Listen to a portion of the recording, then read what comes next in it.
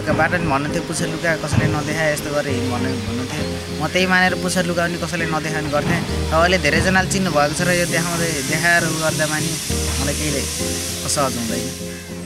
टिकटकमा नि एउटा video viral भएको थियो र त्यो भिडियोको कारणले गर्दा चाहिँ धेरैजनाले मलाई चिन्नुहुनेछ। म नचिनेको ठाउँमा जाँदा म अहिलेसम्म नगएको ठाउँमा जाँदा पनि धेरैजनाले तिमी पुच्छर भएको भाइ होइन भनेर भन्नुहुन्छ। त्यसमा खुसी लाग्छ मलाई।